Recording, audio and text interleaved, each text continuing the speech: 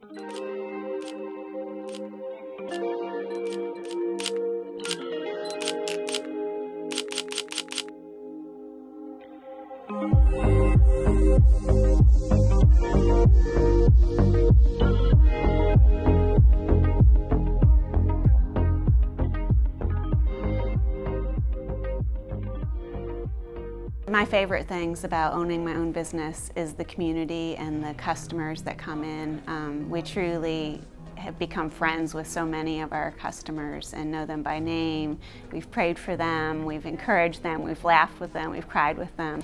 So it's just that bond I think that small business allows you to have that maybe a big box store wouldn't, but they want their home to be beautiful and they come to us and they want us to help put together pillow combinations or help them with their tablescape for their Easter dinner.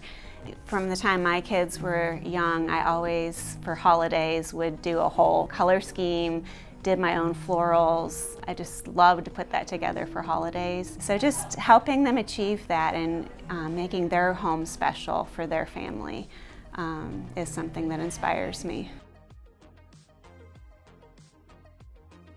We have grown a lot, more than I ever dreamed we would, and um, which is exciting. And our, it's been great to have the whole family um, join us, and we work great together. We get along amazingly together, which I know, you know, it's rare to be able to work together as a family, but um, somehow it, it works really well for us you don't have to finish sentences all the time. They know what you're thinking and you can be honest with them, sometimes brutally honest, and, and the same back.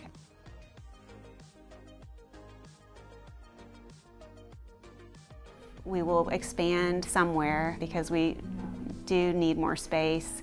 It's been so well received, but we're very limited in what we can display in this space. We're expanding more into online sales so that people from other areas of the country can order uh, from us. We've had people from Florida and Colorado even last week um, make a special trip here just by following us on Instagram and they came to the store and um, then asked us, is there anything else to do in Franklin while we're here? It was just mind-blowing that the world is um, that big and that small that they can find you on Instagram and come see you.